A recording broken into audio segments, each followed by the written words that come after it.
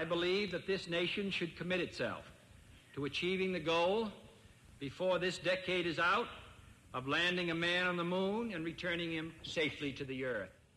It was early 1961.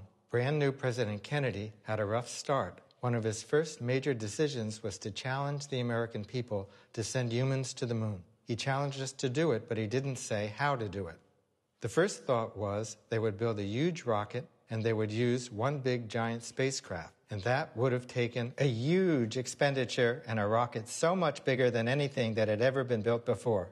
So there were some alternate plans. One was Earth Orbit Rendezvous. You would have to use two very large rockets, have them meet together in Earth orbit, and assemble a spacecraft to go to the moon. The problem was that you would have to take a huge spacecraft or a spacecraft with enough fuel to land it on the moon and then take off and come back.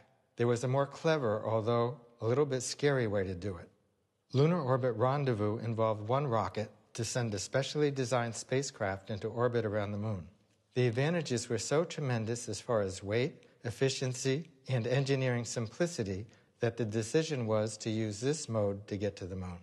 So you have this three part spacecraft lunar module, service module, command module, and orbit around the moon.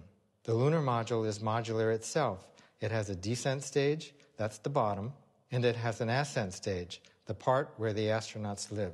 It has enough fuel and a very important engine so that it can lift off and bring two astronauts back up from the moon and rendezvous and dock again with the command module. When the command module and service module gets close to the Earth, the service module is jettisoned, and the only thing that comes back is the command module with the three astronauts.